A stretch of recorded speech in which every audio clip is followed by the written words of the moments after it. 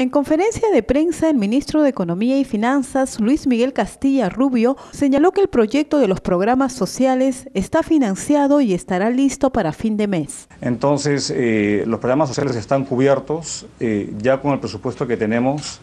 Eh, tenemos que hacer unas modificaciones, y algunas modificaciones para ajustar el proyecto que ya se había dejado el gobierno anterior para poder eh, incorporar eh, digamos, las prioridades de cada uno de los sectores. Los nuevos ministros están trabajando activamente en ello.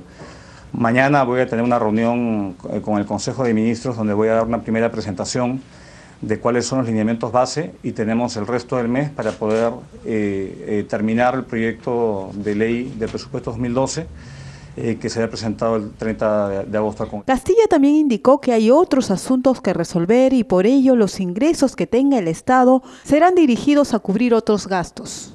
Yo creo que eh, cualquier eh, ingreso adicional que venga hacia adelante va a financiar otras necesidades que, tiene el Estado.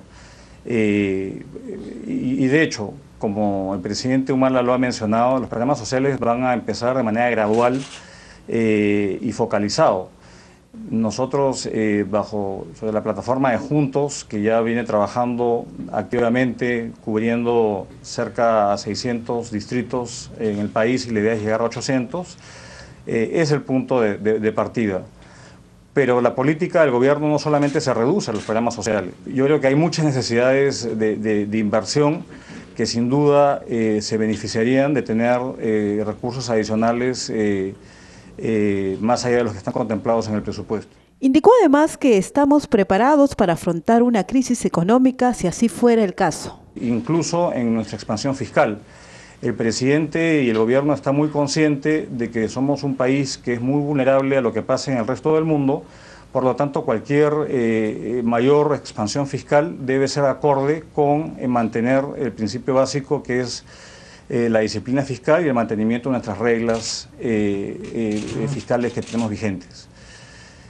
un tema, creo que estamos con los instrumentos adecuados, el Banco Central tiene un nivel de reservas adecuado, la superintendencia tiene herramientas mm, prudenciales que son las idóneas y el fisco ha logrado acumular importantes recursos en nuestro fondo de estabilización fiscal que nos permitiría afrontar cualquier crisis de ser el caso.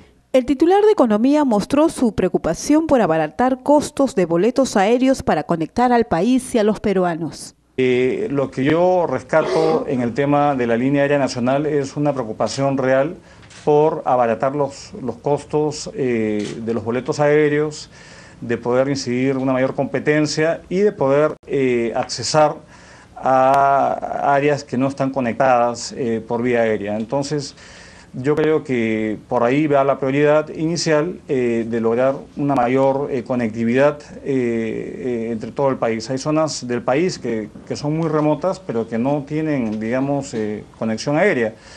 el presidente mismo o algún otro colega en el gabinete comentaba de un aeropuerto muy moderno en Chachapoyas, pero sin ningún tipo de tráfico aéreo. Entonces, eh, lo, importante es poder tener un país que esté más conectado eh, y que los ciudadanos puedan tener eh, boletos aéreos que sean más accesibles.